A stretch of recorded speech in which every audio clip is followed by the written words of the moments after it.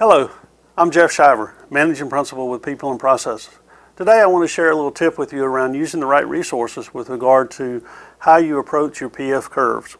And let me explain a little bit more. When we take a PF curve, for example, and this is just uh, one that's set up for the user wanting 100 GPM as an example, or 150 being received, or some number, it really doesn't matter about the scale. The point is, let's say we had a bearing that was in the act of failing.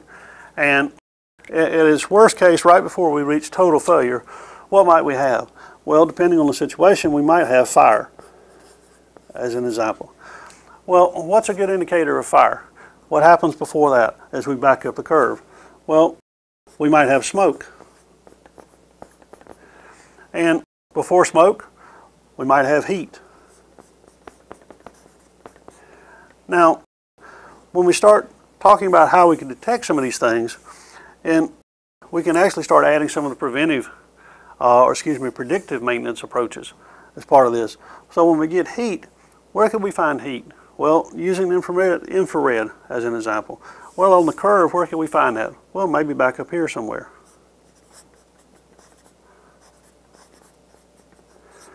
So we have infrared here, but in between infrared and the actual heat piece, we might very well be able to find it just simply using one of the operator's uh, sense of feel. Just using your hand or the backside of your hand, whatever. And what about, uh, from another operations perspective, what about, uh, uh let's say, vibration? Well, we can feel that again. So we can feel heat. We can feel vibration.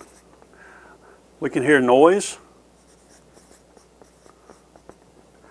And you might ask, well, how can we, we talk about vibration and feeling that using the senses or hearing it from the noise standpoint? Obviously, we can find that with vibration here. And we'll put it here on the chart. We can get into a debate about whether it plays out in front of infrared or not. I will share with you that typically, though, when you back up the curve even further, ultrasound comes in before vibration, and actually NASA uses ultrasound in advance of vibration for certain bearing race uh, cracks and things like that. And of course, you know, we can stack up in here oil analysis as an example. And but the point I wanted to make with this is at this particular point here, we basically have run to failure. We've gone too far, and we're probably not meeting the, the user requirements anymore that we set up here at 100 GPM. But the other piece to consider is that in this, we can simply do uh, operator inspections.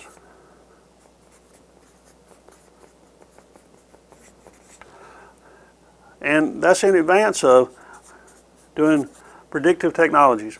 And predictive technologies is great, but they tend to be expensive. And the challenge for us is this. How do we actually, in this particular window, find things in the act of failing and proactively have time to find it, to make the repair before it functionally fails. And many times, operations or maintenance inspections give us that window that we have enough time to proactively plan and schedule, and we can reserve these type of inspections for more cost-effective approaches around more critical components as an example. So don't be afraid to use operator or maintenance and inspections. Don't just stick simply to the proactive technologies because those cost a lot of money typically. So hope you enjoy the tip. Have a great day. I'm Jeff Shiver, Managing Principal, People and Processes.